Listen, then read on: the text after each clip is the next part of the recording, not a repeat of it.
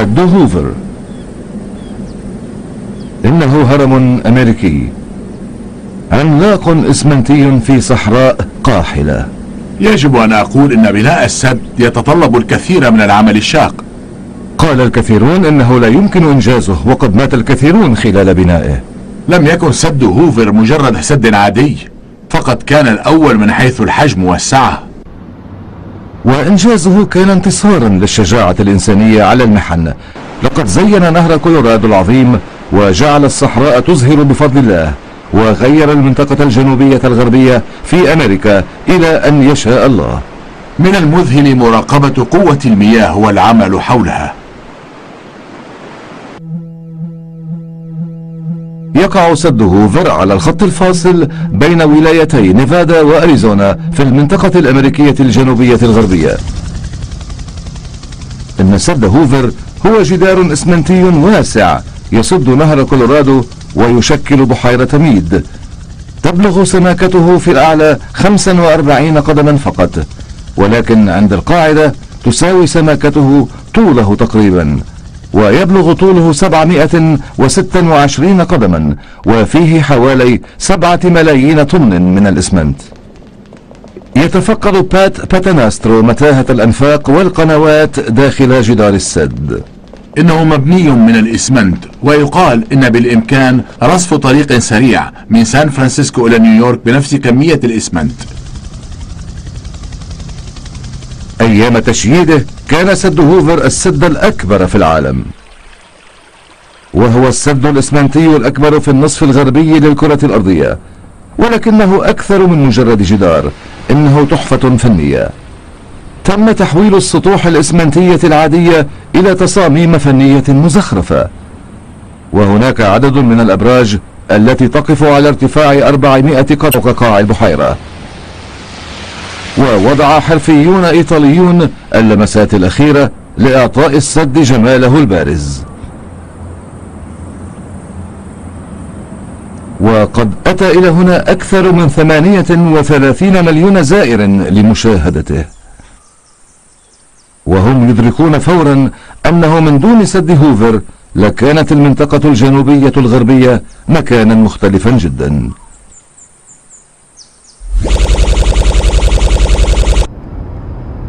قبل بناء سد هوفر كانت لاس فيغاس مجرد محطة توقف مجهولة للقطارات وسط الصحراء وقد جلب السد الماء والكهرباء والشهرة والثروة لصحراء نيفادا.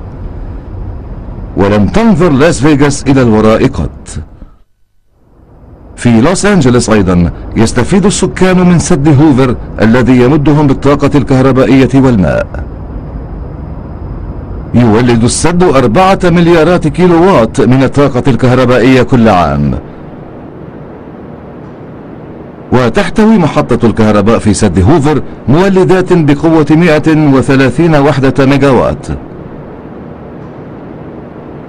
ومولد واحد منها قادر على تأمين الكهرباء لمدينة يبلغ عدد سكانها 400 ألف شخص.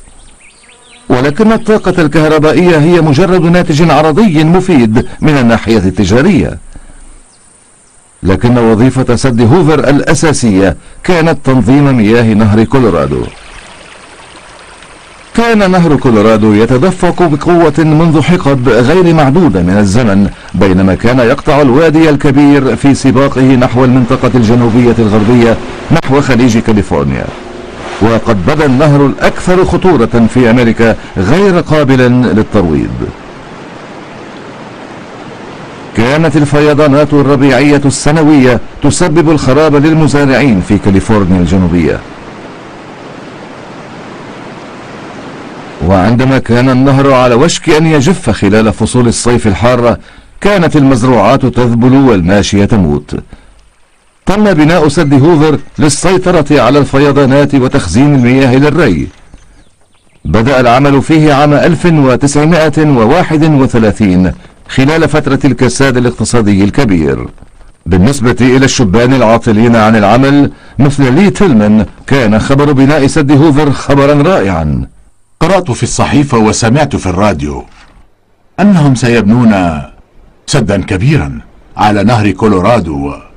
وأن الحكومة ستنفق عليه 165 مليون دولار وكان هذا مبلغا ضخما حينها. وكان يعتبر فرصة بالنسبة إلى أي شاب وأنا كنت في الثامنة عشرة. توجه لي مع آلاف الشبان الآخرين إلى لاس فيغاس وكان من الشبان المحظوظين فحصل بسرعة على وظيفة سائق شاحنة. كنت أكسب خمسة دولارات في اليوم الواحد لقاء قيادة الشاحنة. وبهذا المبلغ كان بإمكاني الذهاب إلى متجر البقالة وشراء طعام لمدة أسبوع. فقد كان الفرق كبيرا بين اللا شيء وخمسة دولارات. خلال فترة الكساد الاقتصادي كانت تعتبر هذه الأجور خيالية ولكن بسبب العدد الكبير من العاطلين عن العمل سيطر المقاولون على الأمر. كنا نكافح للحفاظ على العمل وكان علينا أن نمر بحوالي أربعة آلاف رجل ينتظرون خارج البوابة بانتظار الدخول للحصول على عمل. ويمكن القول إنهم كانوا البدلاء عنا. لذا كان علينا القيام بما يتطلب منا للقيام به أو يمكنهم التخلص منا بسهولة.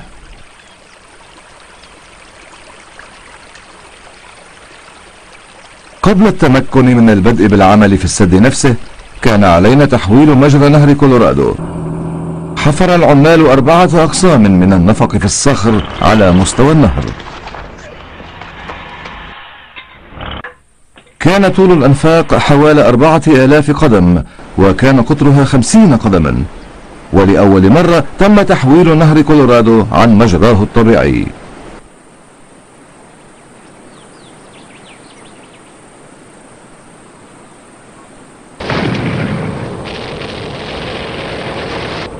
وكان العمل الأخطر من نصيب المتسلقين وهم رجال كانوا يتأرجحون من الحبال على ارتفاع ألف قدم عن الأرض لتفجير وقحط جدران الوادي تحضيرا لوضع الإسمنت.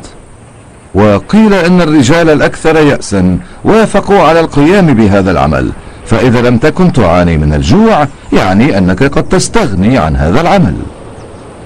انظر إلى العمل الذي قاموا به تحت هذه الشمس الحارقة حيث تتراوح درجة الحرارة بين 135 و 140 درجة فهرنهايت حيث كانوا يتأرجحون من على حائط الوادي حاملين أدوات حفر موصلة بآلة ضغط الهواء ويقومون بحفر فتح لتكسير حائط الوادي.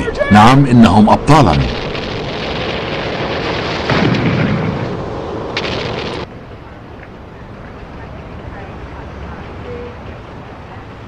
استمر العمل سنتين في المشروع قبل التمكن من البدء بصب الإسمنت. تم رفع الجدار بواسطة عوائق متشابكة وتم توصيل جبل من الإسمنت بواسطة دلاء حيث كان يتم توصيل ثمانية ياردات مكعبة كل مرة. وكان يتم صب الإسمنت على مدار الساعة سبعة أيام في الأسبوع. وكان العمل يستمر 52 أسبوعا في السنة. كانت شروط العمل صعبة فقد كان عام 1931 عاما شديد الحرارة حيث ارتفعت الحرارة إلى أكثر من 140 درجة فهرنهايت. لم نكن معتادين على هذه الحرارة فليس هناك مكان فيه درجة حرارة مرتفعة كما كانت هنا. كان الوادي مثل الفرن وبحلول شهر آب أغسطس عام 1931 كان قد توفي 14 رجلا بسبب الحرارة. وبعد أن بدأ السد بالارتفاع بدأت أدرك حجمه وأتذكر أنني قلت يا إلهي أنا جزء من مشروع هائل ومنذ ذلك الوقت كل مرة كنت أذهب فيها إلى هناك كنت أرى السد يكبر شيئا فشيئا وكان ذلك مذهلا عندئذ بدأت أشعر أنني جزء من مشروع ضخم ومهم جدا. تواصل صب الإسمنت لعامين كاملين ثم في التاسع والعشرين من أيار مايو عام 1935 انتهت المهمة. قبل سنتين من الموعد المحدد وبتكلفة أقل من الميزانية الموضوعة حاجز جيش من العاطلين عن العمل مكانا لنفسه في كتب التاريخ المعماري احتاجت بحيرة ميد الواقعة خلف جدار هوفر العملاق ست سنوات لتمتلئ بالماء. إن هوفر هو سد جاذبية فكلما ارتفع الضغط عليه ازدادت قوته.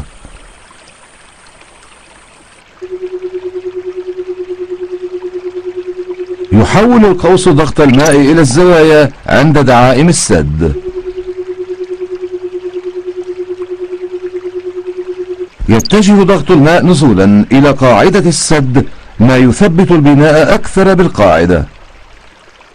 على بعد حوالي 100 قدم من هذا الجدار توجد قوة بحيرة ميد والتي تميل إلى الأسفل نحونا. وتقدر بحوالي 45 باوندا في القدم المربعة. فإن انكسر السد فسيدفعنا إلى المكسيك. لقد غير سد هوفر وبحيرة ميد المنطقة الجنوبية الغربية بين ليلة وضحاها. لقد تسببا بإيقاف الفيضانات والجفاف بفضل الله واستبدلاهما بتدفق ثابت للماء. أصبحت كاليفورنيا الجنوبية المنطقة الأكثر اخضرارا في أمريكا.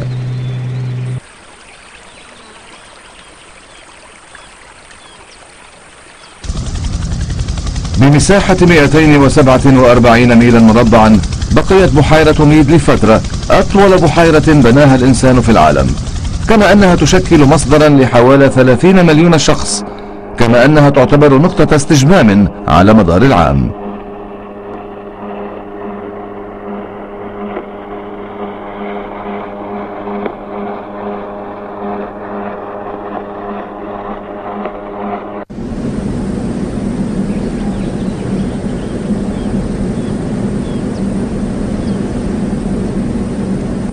لم يعد سد هوفر أكبر سد في العالم ولكنه ما زال حاضرا.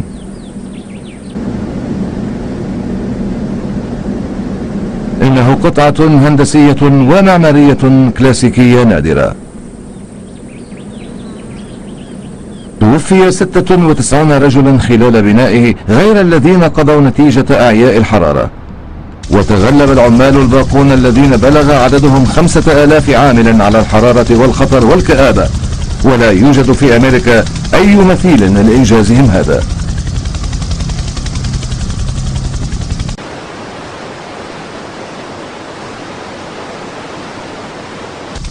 هذا هو الممر المائي الأعظم من صنع الإنسان في العالم. في بداية القرن السادس عشر كان الناس يحلمون بقناة تربط المحيط الأطلسي بالمحيط الهادئ. وقد استغرق حفر نفق طوله خمسون ميلا عشرين عاما من العمل الكادح على يد أكثر من مئة وخمسين ألف عامل. وقد توفي ما يعادل ستة عمال خلال حفر كل ميل من القناة.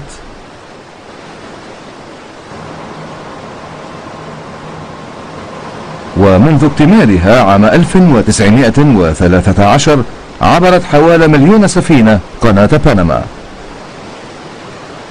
قبل شق القناة كان يستغرق الانتقال بحرا من نيويورك إلى سان فرانسيسكو ستة أسابيع من الإبحار في المياه الغادرة حول كيب هورن. بينما اليوم يمكن القيام بذلك خلال ثلاثة أسابيع. تعبر قناة بنما الجزء الأضيق لبرزخ أمريكا الوسطى.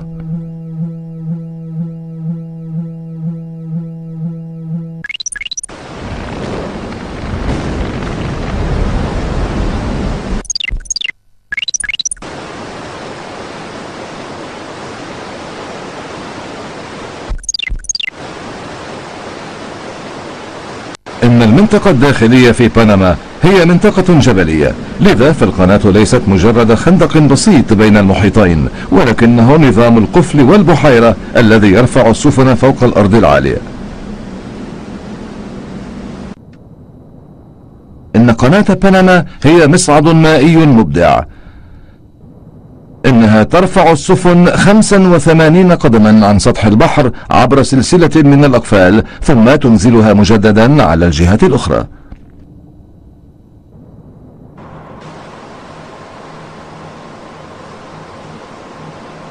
لقد صممت إلانورا لتنعصر بين أقفال وشقوق القناة وهي بحجم سفينة التايتانيك تقريبا. تمر زوارق الشحن حولها بينما تقترب من قفل ميرا فلوريس عند نهاية القناة لجهة المحيط الهادئ. إن إدخال سفينة تزن 27 ألف طن عبر قفل ضيق يشبه محاولة شاحنة كبيرة تسير على صفحة من الجليد. حسب القانون يسمح للقبطان المدرب فقط بإدخال السفن خلال نظام القناة. أوقف المحركات. يعمل أوسكار سوتو كقبطان في القناة منذ عشرة أعوام تعبر الآن السفينة رقم ثلاثة اثنان سبعة سيدي. جناح الميناء من فضلك. جناح الميناء؟ نعم. وسط السفينة. وسط السفينة الدفة. وسط السفينة سيدي. على ربان سفينة إلينور أن يسلم سلطته إلى أوسكار خلال وجود السفينة في القناة. إن قناة بنما هي المكان الوحيد في العالم حتى الآن التي يسيطر فيها الربان سيطرة كاملة على ملاحة السفينة. مع تكلفة بلغت ملايين الدولارات بالإضافة إلى الأرواح التي سقطت لم يكن العمل بها أمرا سهلا. 24 أربعة عشرون شكرا! يشعر أوسكار بالتيارات المتحركة تحت قدميه ويبقى منتبها لأي مشكلة. وسط السفينة! يمكن أن نخسر المحرك أو الدفة ويمكن أن تكون هناك مشكلة في الإقفال لذا يجب أن نكون مستعدين لكل شيء. ببطء إلى الأمام! على القبطان أن يفكر دائما في خطوتين إلى الأمام. يجب أن نصحح أصغر تحرك للسفينة إلى أي جانب حتى قبل أن يحصل. داخل القفل تساعد قاطرات خاصة على سحب إلينور إلى موقعها. هناك مسافة صغيرة بين إلينور وبين جانب القناة من كلا الجانبين تقدم ببطء شديد.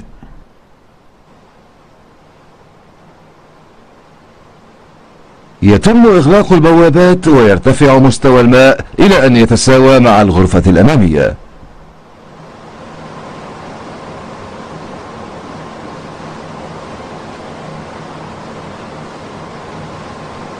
تفتح الأبواب وتتحرك السفينة إلى الأمام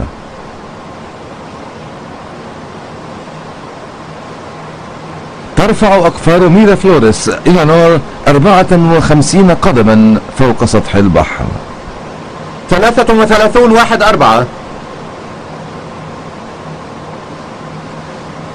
إنها تبحر نحو كوليبرا كات. وهو ممر ضيق منحوت في صخر المقسم القاري ويبلغ طوله تسعة أميال. هنا فشلت المحاولة الأولى لحفر قناة عام 1817 وقد أطلق عليه العمال آنذاك لقب ممر الجحيم. كان المهندس الفرنسي فرديناندو لوسيبس قد بنى قناة السويس واعتقد أن بإمكانه القيام بالأمر نفسه في بنما. ولكن بعد سبع سنوات من محاربة الملاريا والحمى الصفراء والمناخ القاسي لم يحفر الفرنسيون سوى عشر القناة وقد خسر أكثر من عشرين ألف عامل أرواحهم. تخلى دولوسيبس عن المشروع مفلسا ومجنونا. بعد خمسة عشر عاما درست الحكومة الأمريكية إمكانية النجاح حيث فشل الفرنسيون. مكنت الجرافات البخارية الأمريكيين من الحفر خلال يوم واحد. أكثر مما كان الفرنسيون يحفرون خلال شهر. ارتفعت درجة الحرارة في كوليبرا كات إلى 120 فahrenheit ومع التفجير والانهيارات الأرضية كان المكان منطقة البناء الأكثر خطورة. لقد تضمنت ملايين اليردات المكعبة من الصخور الصخور الصلبة في مرحلة ما كان أكثر من ثلاثة عشر ألف شخص يعملون هناك. كانوا يعملون اثنتي عشرة ساعة في اليوم ضمن جدول مركز جدا وكانت أيام الأحد أيام العطلة الوحيدة. بعد مئة عام تقريبا ما زال العمل مستمرا. إن توسيع القناة هو جزء من برنامج تحديث صمم لزيادة تدفق السفن عبر القناة. تعبر القناة سنويا 13 ألف سفينة وتدفع كل واحدة رسم مرور بمعدل 56 ألف دولار. بعد عبور كوليبرا كات تبحر السفن نحو بحيرة جاتون.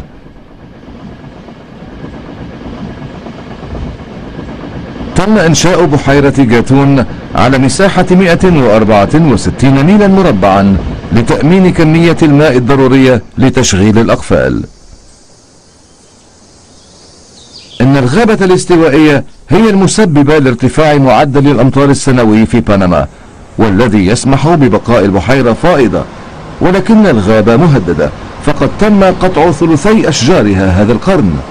وأن استمرت أعمال القطع فستكون القناة في خطر خلال عقد من الزمن.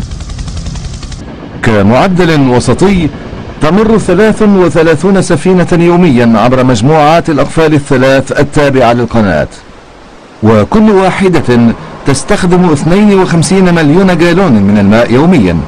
ما يعني خسارة بحيرة جاتون ثلاثة مليار جالون يوميا أي ما يعادل ثلاثة آلاف مسبح أولمبي. عندما تصل السفن إلى نهاية بحيرة جاتون يتم إنزالها إلى مستوى البحر عبر أقفال جاتون. والأقفال هناك هي عبارة عن ماكينات عملاقة من الإسمنت والفولاذ والماء.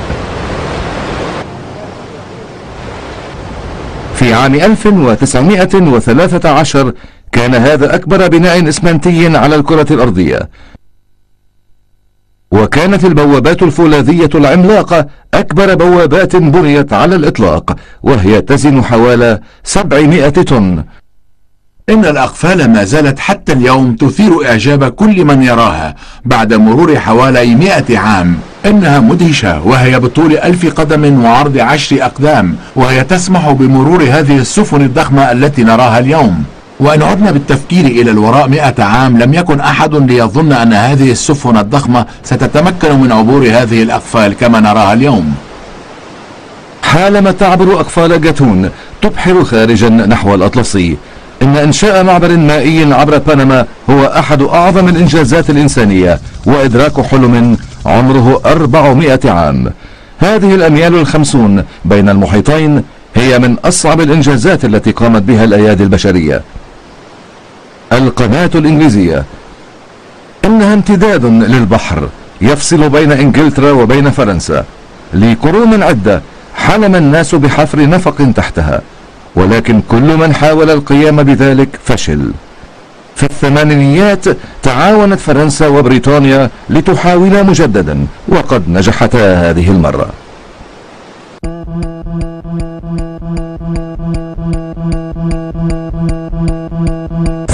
ثلاثة عشر ألف عامل.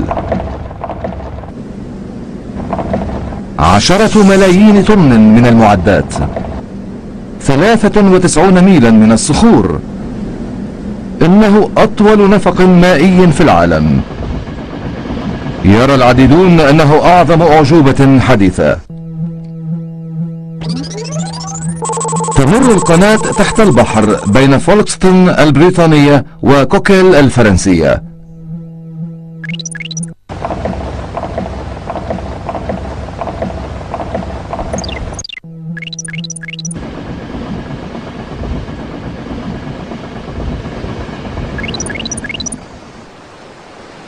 قبل فتح القناة كانت هناك طريقة وحيدة لعبور القناة. وكانت الرحلة من لندن إلى باريس تستغرق يوما كاملا. الآن باستخدام يورو ستار تستغرق الرحلة ثلاث ساعات فقط.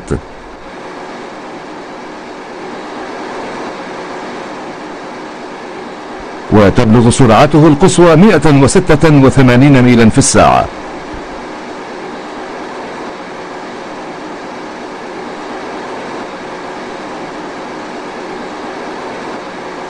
فيوروستار يطير حقا وهو يقلك من وسط لندن إلى وسط باريس في وقت أقل من الوقت الذي تحتاج إليه الطائرة.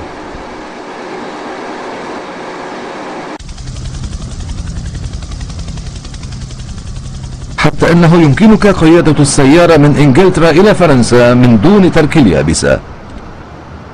ولكن قبل فتح النفق انتقل هذا الرجل من إنجلترا إلى فرنسا سيرا على الأقدام وآخر مرة كان قد حصل فيها ذلك كان خلال العصر الجليدي كما يظن بعض العلماء. أن تكون الرجل الأول الذي يعبر القناة سيرا على الأقدام منذ 15 أو 17 ألف عام؟ لقد كان أمرا رائعا وسأقوم بذلك غدا مجددا. خلال يوم الاستحقاق كان موجودا على عمق 150 قدما تحت قعر القناة على بعد 13 ميلا عن إنجلترا. وكانت الأراضي الفرنسية على بعد يارد واحد منه لقد كان أحد أفراد فرقة الجيش نمور النفق والتي كانت تقوم بحفر الأنفاق. وكان فيليب كوزيت نظير جراهام من الجهة الفرنسية. وكان الجانبان يقومان بالحفر باتجاه بعضهما البعض لقطع مسافة 24 ميلا. والآن لا يفصل بينهما سوى ياردة واحدة من الصخور. في الساعة الحادية عشرة صباحا في الأول من كانون الأول ديسمبر عام 1990 لم تعد إنجلترا جزيرة.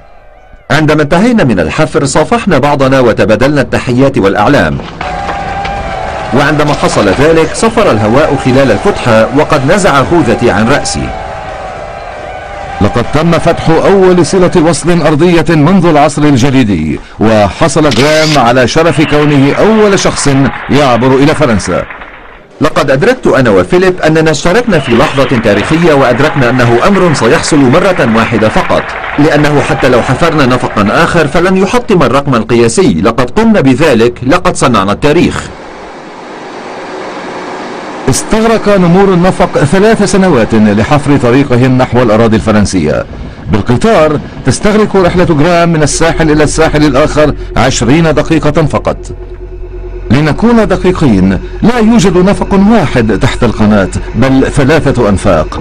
هناك نفقان لسكة الحديد على جهتي نفق الخدمة الأصغر حجما وقد قام جرام وفيليب بإنجازهما التاريخي بحفره. تم تجويف النفق خلال اثنتي عشرة مرحلة وكان على الفريقين البريطاني والفرنسي أن يحفروا ثلاثة أنفاق تحت الأرض من الساحل إلى داخل البلاد وثلاثة أنفاق تحت البحر.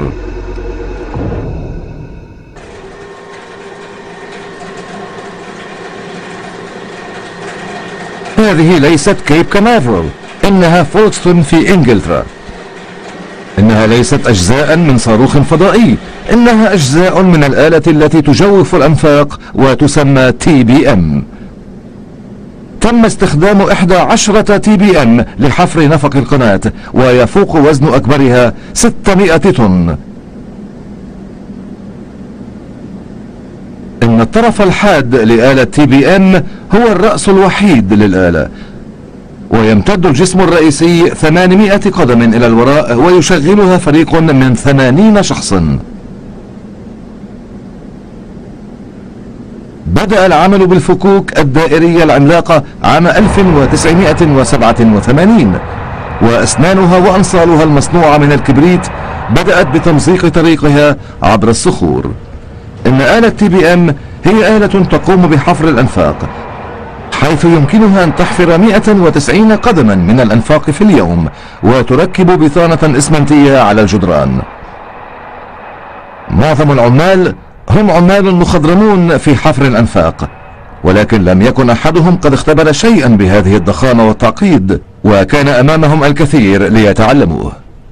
عندما تبدأ مشروعا كنفق القناة أو أي نفق آخر تتعلم أشياء كثيرة وتحاول وتتعلم في أسرع وقت ممكن ليصبح العمل أسهل. اصطدم الفريق الإنجليزي بالصخور في مرحلة مبكرة وكاد العمل يتوقف تقريبا بسبب تسرب مياه البحر إلى الداخل. تأثرت معنويات العمال مبكرا جدا فهم لم يتقدموا بالسرعة التي كانوا يرجونها. لقد فكروا كم سيستغرق هذا المشروع وهل سنموت قبل الانتهاء منه. ولفترة بدا المشروع متوقفا ولكن كافح الإنجليز عبر ثلاثة أميال من الصخر الذي كان يسرب الماء قبل العودة إلى الطريق الصحيح.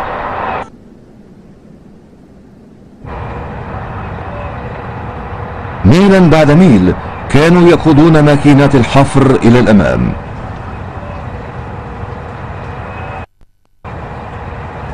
وقد جاء المديح الكبير عندما تم الانتهاء من حفر الأقسام الاثني عشر من النفق.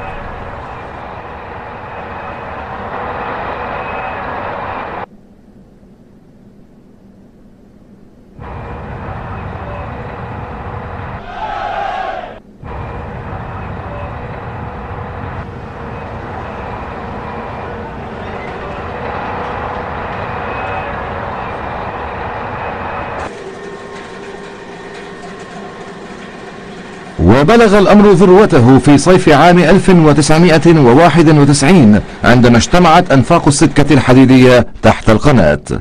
شقوا طريقهم عبر عشرة ياردات مكعبة من الصخور. لقد سبقوا البرنامج المقرر وقد حققوا الهدف. وقد انتهى أكبر مشروع أقيم تحت البحر في التاريخ.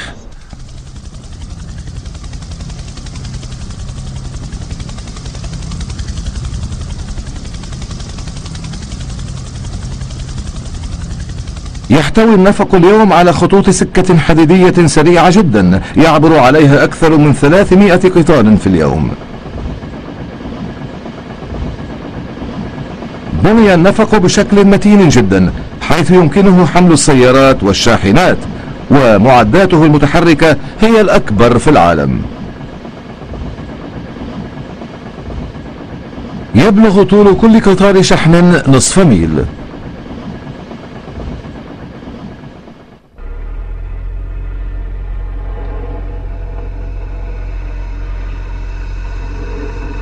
نفق القناة معقد جدا وهو يشبه مصنعا مبنيا تحت الأرض ويستخدم فريق الصيانة نفق الخدمة للتمكن من الدخول إليه.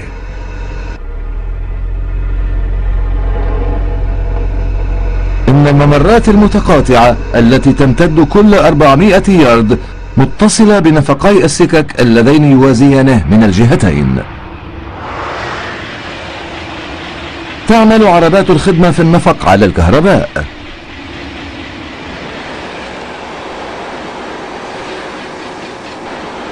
تصل سرعة العربات القصوى إلى 50 ميلا في الساعة ويمكنها أن تصل إلى أي جزء من النفق خلال 20 دقيقة فقط. كما أن نفق الخدمة هو نفق نجاة أثناء حالات الطوارئ. في عام 1996 حصل ما كان غير متوقع. في الثامن عشر من تشرين الثاني نوفمبر اشتعلت قاطرة تحمل شاحنات من فرنسا إلى بريطانيا. وقد هرب الأشخاص الذين كانوا على متنها عبر نفق الخدمة. وقد نقلت عربات الخدمة رجال إطفاء بسرعة إلى مكان الحريق ونقلت المصابين كذلك. أصبح نفق السكة فرنا وقد وصلت حرارته إلى حوالي ألفي درجة والتصقت عجلات النفق بالسكة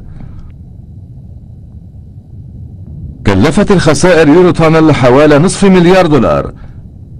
لكن أنظمة الأمان عملت بشكل جيد وبقي نفق الخدمة خاليا من الدخان ولم يمت أحد في الحادث.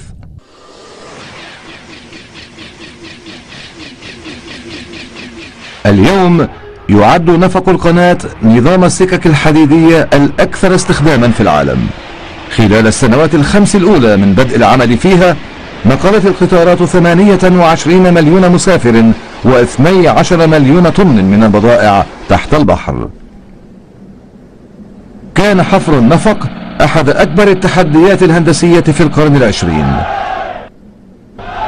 ونجاحه يجعله منافسا قويا للحصول على لقب الإنجاز الهندسي الأعظم في العالم.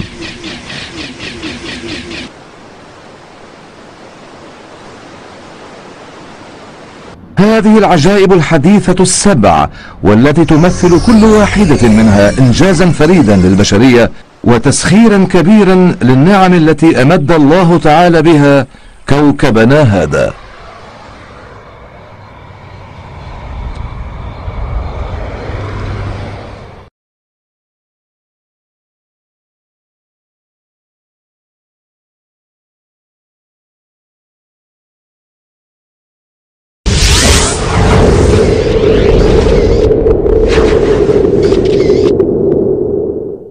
ما هي العجائب الطبيعية السبع في العالم؟ وأي واحدة منها تختار يستمر بحثنا عن العجائب السبع الأولى بينما نغوص في حاجز الشعب المرجانية ونشعر بالحر في هاواي ونختبر القوة الهائلة لشلالات نياجارا ونقوم برحلة صعودا باتجاه أقوى نهر في العالم نحن نقطع ونزرع مساحات شاسعة من الأراضي لتحقيق أهدافنا وحاجاتنا. ولكن في المناطق التي لم تتم الاستفادة الطبيعية فيها نحن مجبرون على مواجهة أنفسنا ومرغمون على النظر والتأمل في هذا الخلق البديع. في هذه الحلقة سنتعرف إلى أروع وأثمن المواقع الطبيعية في العالم ونصل في رحلتنا إلى الجزيرة الكبيرة في هاواي. إنها أكبر كتلة أرخبيل جنوبية تقع في وسط المحيط الهادئ. تقع هاواي على بعد 2400 ميل من الساحل الغربي للولايات المتحدة الأمريكية. هناك ثمان جزر في المجموعة ولكن على الساحل الجنوبي الشرقي للجزيرة الكبيرة هناك منطقة بحجم مدينة نيويورك وهي معروفة باسم حديقة براكين هاواي العامة يعرض موقع التراث العالمي هذا نتائج سبعين مليون عام من ثوران البراكين. وإن كنت ترغب في مشاهدة الحمم البركانية فهذا هو المكان الذي يجب أن تزوره. هاواي هي مكان غير عادي إن لم نقل استثنائي. هذا لأنها عبارة عن براكين بازلتية ضخمة فوق بقعة محيطية ساخنة. وكالديرا هنا متطور مثل أي مكان آخر في العالم. لذا ها نحن الآن نقف على قمة أكثر البراكين الثائرة في العالم وأنا أشعر بالأمان.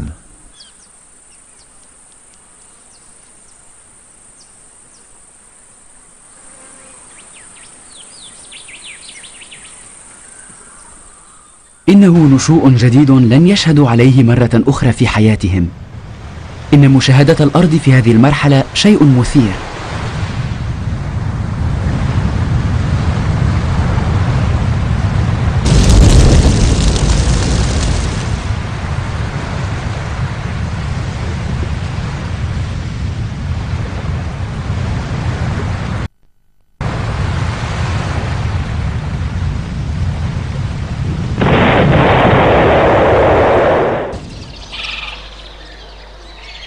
يوجد هنا اثنان من أكبر البراكين وأكثرها روعة في العالم. ماونا لوا أو البركان الطويل هو عبارة عن عملاق نائم وقد ثار آخر مرة عام 1984 إنه أكبر بركان في العالم. يبلغ طوله من قاعدته تحت سطح البحر إلى حفرته حوالي عشرة أميال. يرتفع طولا نحو 56 ألف قدم من قاعدته إلى قمته. وهناك حوالي ثلاثة ألاف قدم منها فوق سطح البحر والباقي هو تحت مستوى سطح البحر وهو واسع وعريض لذلك فهو صرح ضخم جدا. إن كيلوايا هي أخت ماونا لوا الصغرى والأكثر قلقا. اسمها بولينيجين يعني التقيؤ أو الانتشار منذ عام 1993 قذفت كيلوايا كمية من الحمم تكفي لتغطي مساحة العاصمة واشنطن بعمق 44 قدما.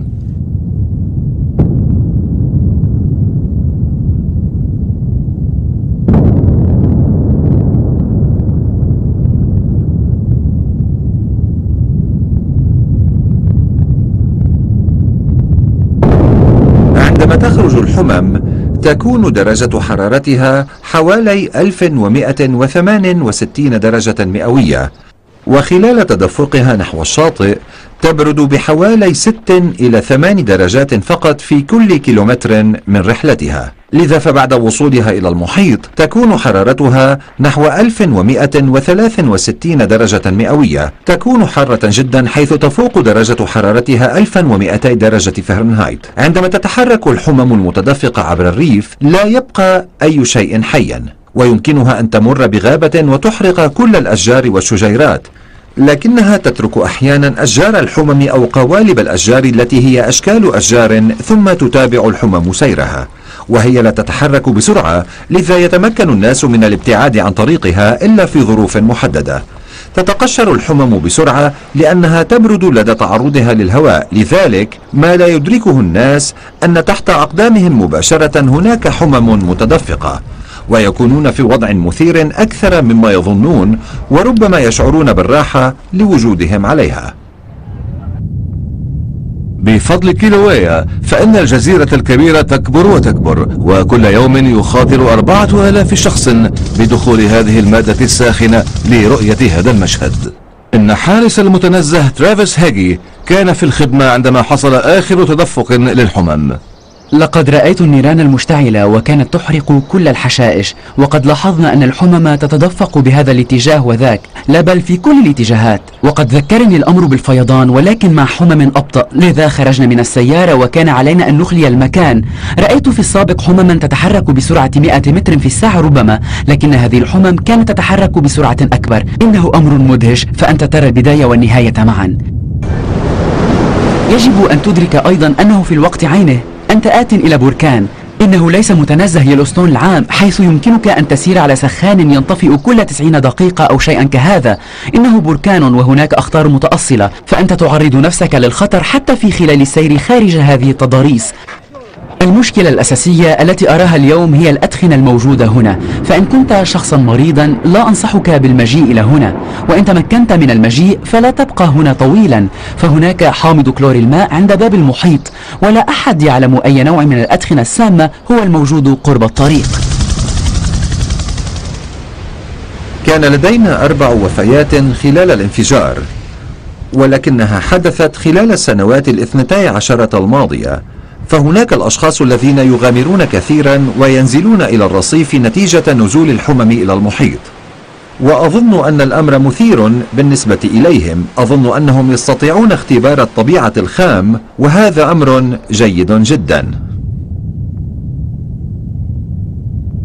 سلسلة جزر هاواي تكونت بقدرة الله على بقعة محيطية ساخنة على مر أكثر من سبعين مليون عام. إن القليل من الدخان المتصاعد من أعماق الأرض يذيب الصخور خلال صعوده. تستمر هذه الحمم المائعة في الصعود إلى أن تنفجر في النهاية عند القشرة الأرضية ما يشكل ظهور أرض جديدة.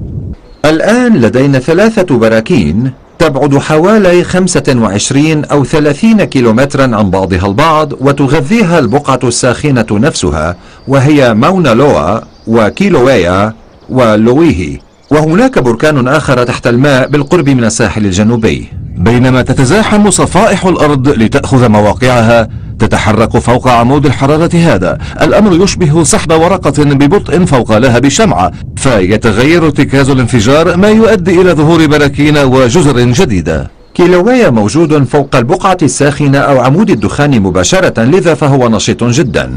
بينما يقترب لويه من البقعة الساخنة لذا فهو صغير ولكنه يكبر وستتزايد نسبة نشاطه بشكل مثير عندما يصبح فوق البقعة الساخنة مباشرة. وإن استمر في الانفجار لخمسين ألف عام أو مئة ألف عام فسنرى تشكل جزر جديدة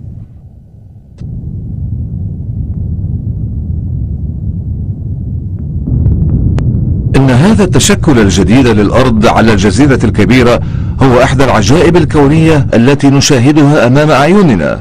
إن الجزيرة الكبيرة في هاواي هي مزيج فريد بين الأنظمة البيئية الحساسة والعنف المفزع. هذه الدورة المتكررة من السكون والانبعاث تجعلها أرض التناقضات الغريبة والآسرة. من حرارة هاواي نتجه إلى رطوبة الغابات الاستوائية.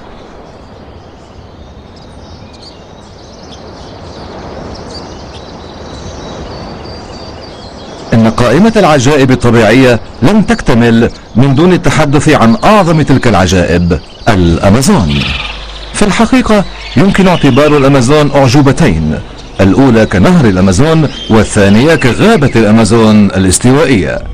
إنه أكبر نظام نهري في العالم حيث يمتد من منبعه في الأنديز البيروية ويقطع مسافة تفوق الأربعة آلاف ميل نحو المحيط الأطلسي كما أنه أكبر غابة أمطار استوائية في العالم حيث تغطي مساحة مليونين ونصف مليون ميل مربع من البرازيل وفنزويلا وكولومبيا والإكوادور والبيرو وبوليفيا.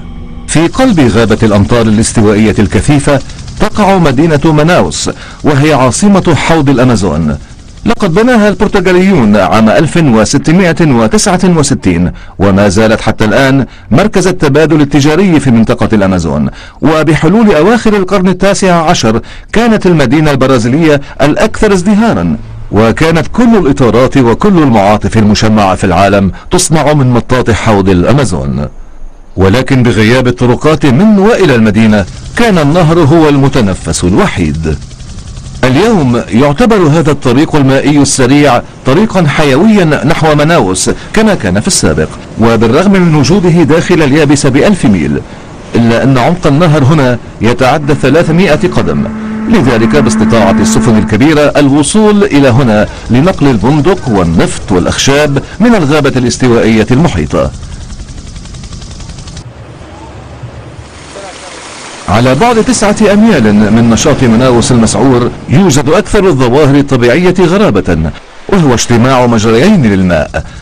هما ملتقى الأمازون أي التقاء المياه البنية لأحد روافده مع المياه السوداء لتشكل أكبر نهر في العالم the نيجرو الزنجي. إن جون هارود هو عالم ودليل سياحي في حوض الأمازون. على يسارنا توجد مياه سوداء إنه نهر النيجرو الذي يأتي من الشمال.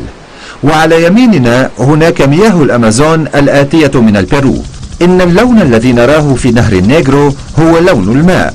إنه نوع من الشاي الذي تشكل نتيجة ذوبان الأوراق في الماء تماما كما نصنع نحن الشاي. فعندما تنظر إلى الأمازون ترى لون الرواسب. وهناك تيار كاف في نهر الأمازون لإبقاء الطين في الأعلى ليحصل على ذلك اللون الغني الذي يشبه شراب القهوة بالحليب. بشكل أساسي ما سيحدث هو أن الأمازون سيدفع بالنيجرو نحو الضفة اليسرى وكلما أصبح النيجرو أنحف ازدادت سرعته وكلما ازدادت سرعته يحصل على قوة كافية لإبقاء الرواسب في الأعلى فيصبح لونه بلون القهوة بالحليب.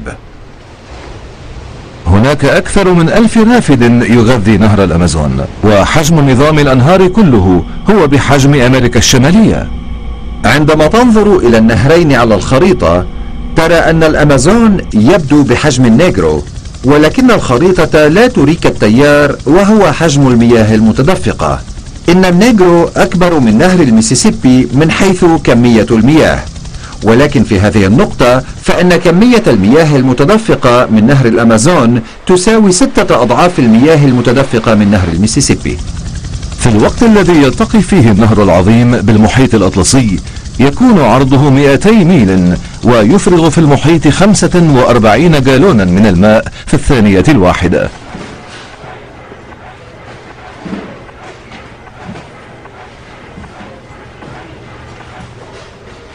يحتوي حوض الأمازون على 15 ألف نوع من الحيوانات المعروفة. فضمن قطر مدينة مناوس الصغير هناك 700 نوع من الأسماك وهذا العدد أكثر بكثير مما قد نجده في كل بحيرات وأنهار أمريكا الشمالية.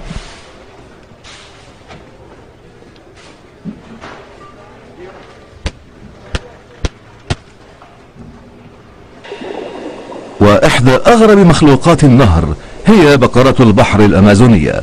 يمكن أن يكبر هذا العملاق اللطيف ليصل طوله إلى تسع أقدام ويتخطى وزنه ألف باوند. ولكن بقرة البحر مهددة بالانقراض فلحمها طيب جدا وهي طريدة سهلة بالنسبة إلى الصيادين المحليين. في معهد الأبحاث الوطنية للأمازون يقوم العلماء بتربية أبقار البحر المصابة أو اليتيمة ريثما تستعيد عافيتها.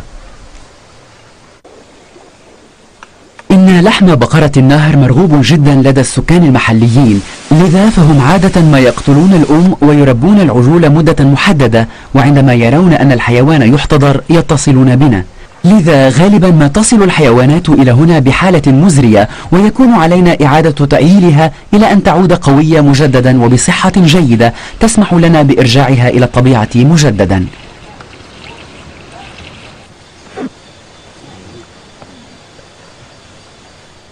في الماضي كان يتم صيد هذه الحيوانات بنسبة عالية جدا ليس فقط من أجل لحمها بل من أجل جلدها أيضا. فجلد بقرة البحر سميك جدا وكان يستخدم خلال الثورة الصناعية لصناعة الأحزمة للآلات. إن أعداد أبقار البحر الأمازونية تتناقص بشكل مستمر. ويحتاج هذا الحيوان إلى عام كامل لينضج جنسيا. ويمكن أن تكون معدلات الولادات بطيئة جدا لدرجة أن كل بقرة تلد عجلا واحدا كل ثلاثة أو أربعة أعوام. بعد أشهر من رعاية هذه المخلوقات المميزة لتسترجع عافيتها يقوم المعهد بإطلاقها في المياه المحمية.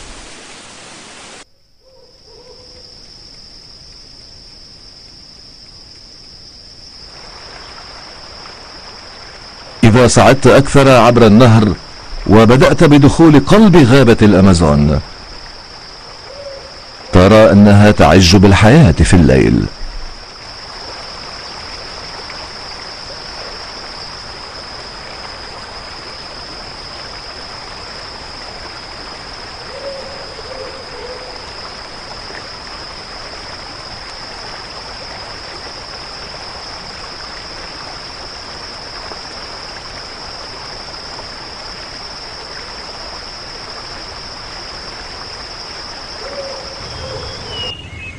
أن غابات الأمطار الاستوائية هي البيئات الأغنى بالأنواع المختلفة بين النباتات والحيوانات على الكوكب وغابة الأمازون هي أقدمها وأكبرها.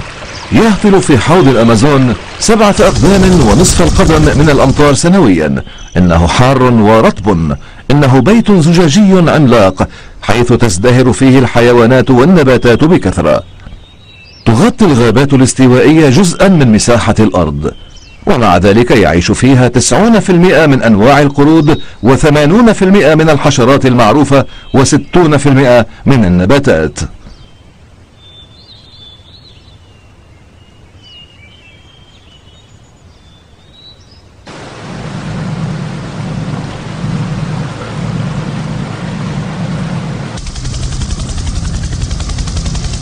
بالنسبة إلى المستكشفين الأوائل فإن الأمازون مستنقع لا يمكن اختراقه حيث كان الخطر متربصا مع كل انحناءة للنهر ولم تكن الغابة تأوي الأمراض إنما البعض من أكثر الحيوانات المفزعة في العالم. يعج النهر بأعداد هائلة من أسماك البيرانا الشرسة ولكن هناك أخبار كثيرة ملفقة حول هذه الأسماك السيئة السمعة ولا يوجد أي تقارير تشير إلى موت أي إنسان نتيجة هجوم البيرانا وفي كثير من الأحيان تستعمل البيرانا لجذب خطر أكبر وهو تمساح الأمازون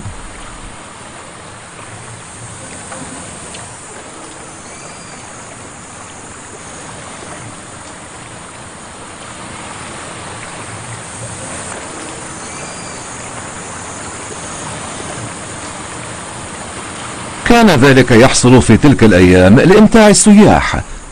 فغابة الأمازون هي أحد أكثر الأمكنة شعبية بالنسبة إلى المسافرين المغامرين الذين ينزلون في مساكن الغابة كالمتنزه البيئي مثلا. حسنا نحن الآن في طريقنا إلى المتنزه البيئي. يقع المتنزه البيئي على ضفة نهر تاروما وهو رافد لنهر النيجرو. إنه مكان رائع لأن لديهم هنا فكرة مزج حب الغابة وحب الحيوانات أيضا. ولديهم مركز تأهيل حيث يتم أخذ الحيوانات التي يتم أسرها لبيعها بطريقة غير شرعية لتتم إعادتها إلى الطبيعة.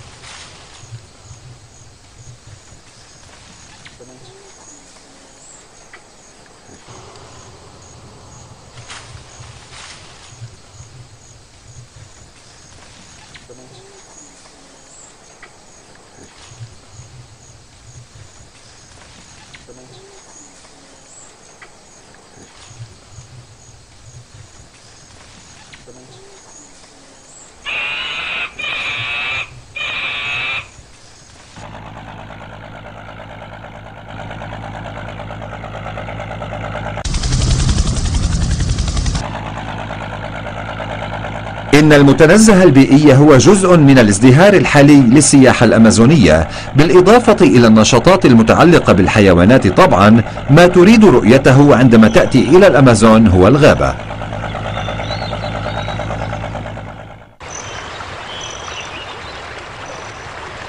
يوجد في الأمازون أكثر من ثلاثة ألاف نوع من الأشجار الأصلية ويمكن مقارنتها بالأنواع الأربعمائة الموجودة في أمريكا الشمالية كلها. تأخذ الغابة العديد من الأشكال. فهناك بعض النباتات التي تنمو بشكل كثيف على ضفاف الأنهار والمستنقعات بينما تزدهر أشجار الخشب الصلب في أرض أعلى وأكثر جفافا. ومتوسط عمر هذه الأشجار هو 250 عاما. ولكن على الرغم من الاهتمام العالمي بحماية غابة الأمازون فإن هذه الغابة الاستوائية تختفي بسرعة. حيث يتم تدمير هذه الغابة بمعدل 11 ملعب كرة قدم في الدقيقة كل يوم. إن محو الغابات لزيادة المساحات الصالحة للزراعة وقطع الأشجار للاستفادة من أخشابها يعنيان أن هذه الأرض الغريبة والجميلة التي وجدت منذ عصر الديناصورات يمكن أن تصبح من الماضي إلا إذا قدر الله تعالى غير ذلك. لرؤية أعجوبتنا الطبيعية التالية سنسافر إلى نياجرا لنشاهد خمس كمية المياه العذبة في العالم تتحطم فوق رؤوسنا. هذه هي المياه المضطربة لمضيق نياجرا بينما تنحدر المياه مع التيار تزداد سرعتها في واحد من أكبر عروض القوة في الطبيعة التي خلقها الله تعالى على هذه الأرض. إنها شلالات نياجرا.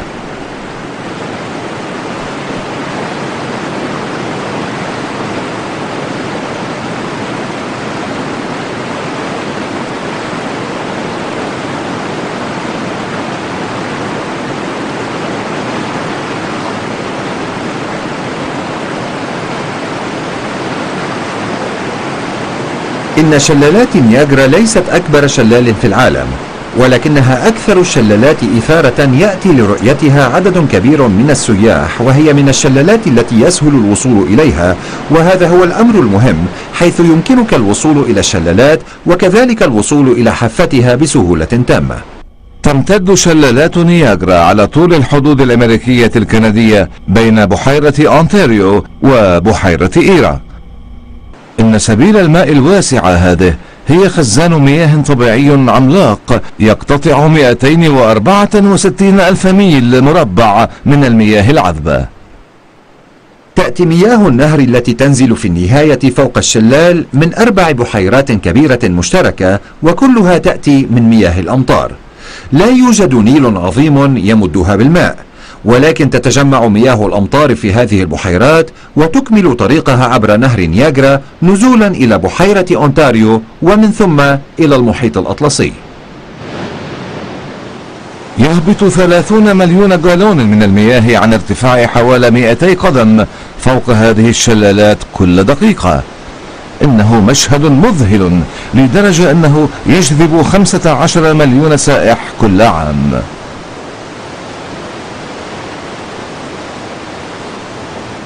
مياه النهر ومياه الشلالات نفسها مهدئة جدا. كتب عديدون من الذين زاروا المكان منذ أعوام عدة عن التأثير المهدئ للمياه. إنه مكان يمكنك أن تأتي إليه لتفكر. إنه مكان يمكنك الجلوس فيه لتشاهد مشهدا رائعا ثم يترجم ذلك للعقول. وهو مكان أحب التردد إليه باستمرار. أحب هذه الشلالات. إن خمس كمية المياه العذبة في العالم تعبر هذا الممر وتنزل الشلالات. إنه نهر ينتج 4.4 مليون كيلووات من الطاقة الكهربائية. إنه يؤمن مياه الشرب والمياه التي تستخدم في المنشآت الصناعية لذلك هو نهر مميز جدا. تهبط المياه فوق شلالين مختلفين. على الجهة الكندية هناك شلالات حدوة الحصان وقد سميت بهذا الاسم بسبب منحاها المميز بينما تقع الشلالات الأمريكية خارج الحدود. ترتفع شلالات حدوة الحصان الكندية بارتفاع حوالي 170 قدما من خط القمة إلى النهر. أما الشلالات الأمريكية وتسمى طرحة العروس فهي ليست مرتفعة إذ يبلغ ارتفاعها حوالي 130 قدما. تتساقط نسبة 90% من المياه فوق حدوة الحصان الكندية بينما تتساقط نسبة 10% من المياه فوق الشلالات الأمريكية. لقد تكونت شلالات نياجرا منذ 12 ألف سنة حسب تقدير بعض العلماء عندما انحصر الجليد الذائب في الشمال. ما سمح للمياه من بحيرة إيرا بالتدفق فوق جرف نياجرا وهو جرف يمتد على طول الحافة الجنوبية لبحيرة أنتاريو منذ ذلك الحين وشلالات نياجرا تتحرك وتتراجع سبعة أميال فوق النهر. إن الانحسار هو حوالي قدم واحدة كل عشر سنوات وهو الآن في بقعة في وسط نهر نياجرا تقريبا. سبب حصول ذلك هو طبقة قاسية جدا من الدولمايت كانت على قمة الشلالات وتحتها كان يوجد سجيل وحجر رملي. لكن فصول الشتاء الباردة والحارة في كندا حلت السجيل والحجر الرملي فانهار الدولميت الثقيل في الأعلى. ويقدر أنه بعد حوالي عشرة ألاف عام ستصبح الشلالات في بحيرة إيرا وهكذا لن تعود موجودة.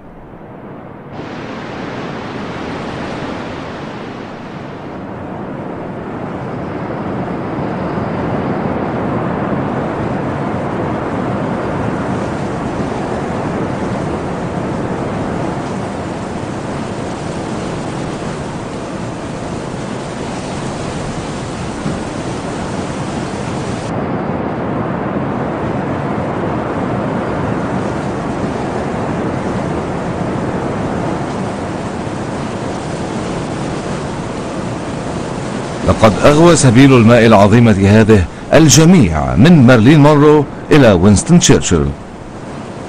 يعود سحر الشلالات إلى سنوات عديدة عندما بدأ الأزواج يأتون لتمضية شهر العسل أي في القرن التاسع عشر وربما قبل ذلك. ولكن الجاذب هو الماء وطريقة نزوله فعندما تقترب من الماء لا يمكنك إلا أن تشعر بالارتياح. وهو الشيء الذي تختبره عندما تمشي تحت المطر الخفيف عندما تكون على الشاطئ وعندما تقترب من شلالات نياجرا لا يمكنك سوى الشعور بالسعادة.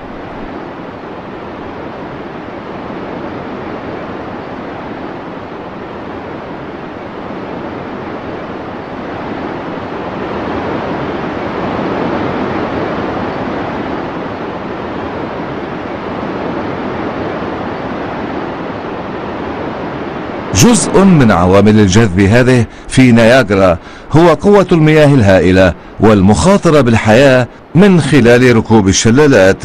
جذب المخاطرين منذ أكثر من قرن. لقد حاول 21 شخصا هبوط الشلالات بسلام فتوفي خمسة منهم وتم إيقاف ستة قبل قيامهم بالمحاولة بينما عاش عشرات أشخاص ليتحدثوا عن الأمر.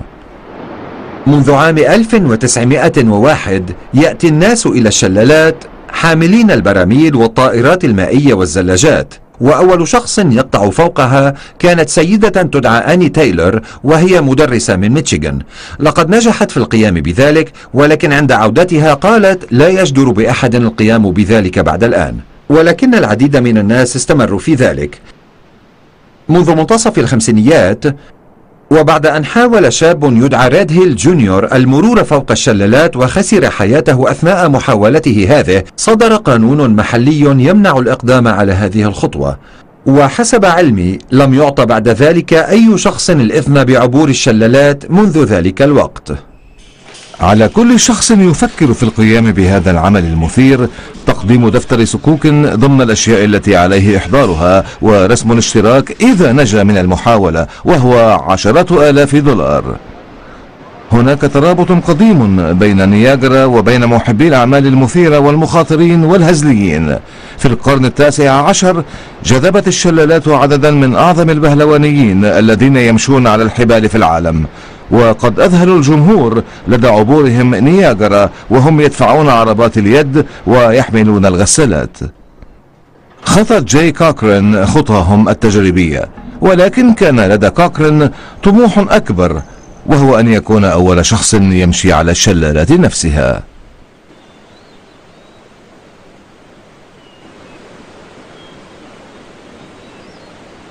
ستكون المسافة التي سأقطعها أكبر مساحة قطعت على الإطلاق. ستكون الأعلى والأطول فوق شلالات نياجرا. ستكون المسافة 3560 قدما. يقول لي الناس يجب ألا تخاف يجب ألا تخاف وأنت فوق. ولكنني بالطبع سأكون خائفا وأنا فوق. لأنه إن لم تشعر بالخوف فسوف تصبح مهملا. إذا وصلت إلى درجة أعدت التفكير فيها بالقيام بأمر ما فلا تقم به.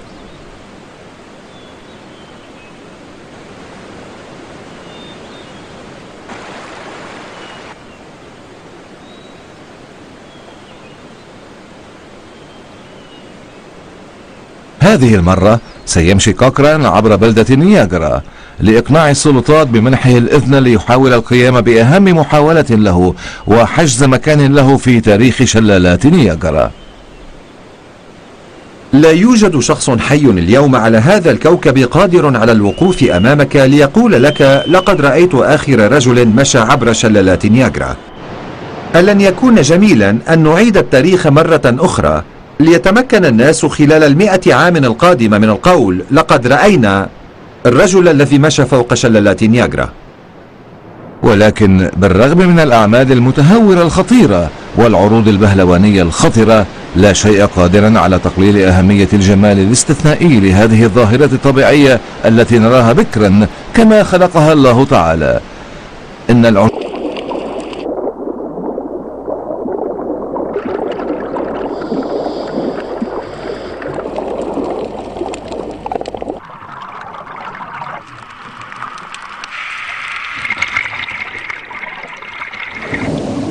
إن كوكبنا غني بالعجائب الطبيعية وقد بات معظمها في متناول اليد. إن التحدي الذي نواجهه هو الحفاظ على هذه المواقع المميزة والجميلة كما هي وبالروعة التي خلقها الله عليها لكي تصل إلى الأجيال القادمة كما تسلمناها. رائعة فريدة أخاذة.